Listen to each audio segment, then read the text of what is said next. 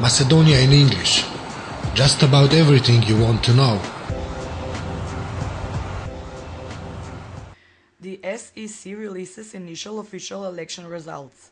According to the data of the State Election Commission, Andrej Zhernovsky, the central mayoral candidate from the Coalition Alliance for the Future, won 9,027 votes at repeated voting, bringing the total to 15,061 as compared to his rival Todorovic, who won total 12,010. According to SEC's official initial results, Gjorcha Petrov, the candidate of the Coalition for a Better Macedonia, Sokol Mitrovsky, won 11,893 votes.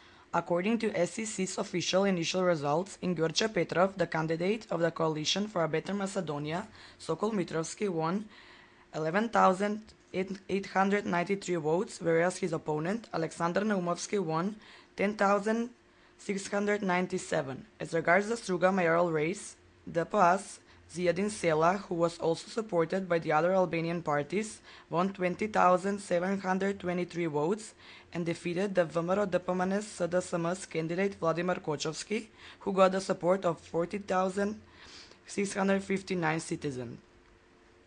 With respect to Dolneni, VMRO DPMNE's candidate Bose Miloševski, who won 4,048 votes, 52.30%, defeated his opponent, DUI's Abdullah Bayramovsky, who got 3,692 votes, 47.70%.